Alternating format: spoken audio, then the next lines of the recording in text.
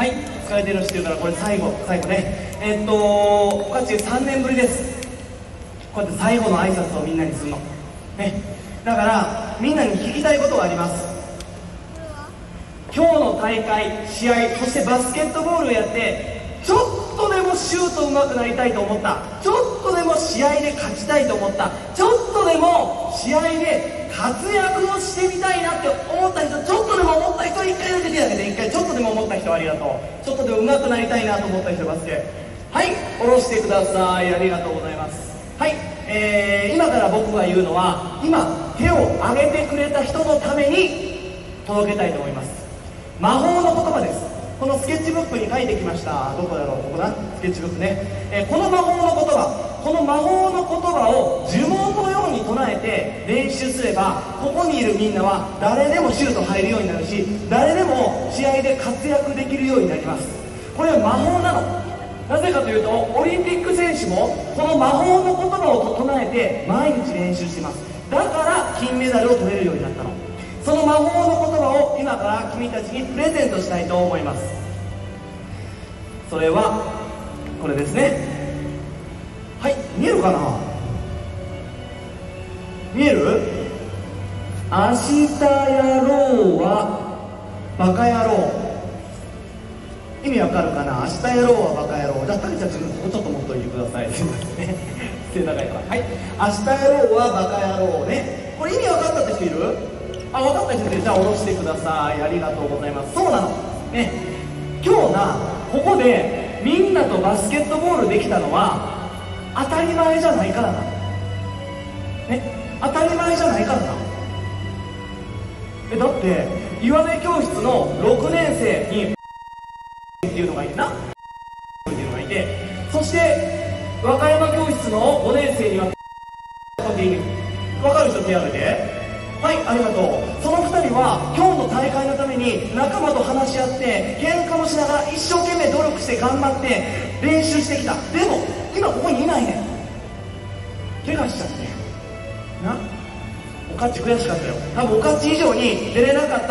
がもっと悔しかったと思うでも彼ら2人は1ヶ月前まさか自分が大会に出られへんなんて思ってもいなかったと思う。そしてミスターおかち。ミスターおかっちも死ぬまで全力でバスケットボールやるって決めて。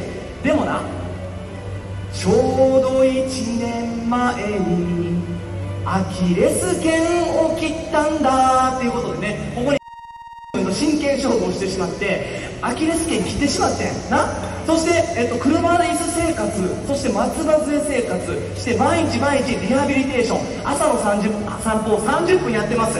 毎日。それから1年経ったけどまだバスケットボールできへんねん。大好きだったバスケットボール。そう。こうこうなんとは思ってもいなかった。そしてこんなん言うまでもないよな。今のこの世の中。学校がいつ休みになるかもわからへんやろ。でこの体育館を使ってはいけませんっていつ言われるかわからへん。つまりバスケットボールが明日できるかどうかわからへんねん。実際なそこに今日助けてくれた生の時なずっとずっとバスケ練習して一生懸命やっていたの。でも卒業試合一番最後の試合やできへんかって。中止になって。なそれだけじゃない。その中の6年生っていう岩根教室だったら知ってるやろ。1年生から頑張ってきて6年間頑張ってきた子おんねん。そのそその子もね絶対卒業試合で活躍するのって頑張ってて。でもなくなって。わかる？当たり前じゃないね。今日ここでバスケットボールができたの。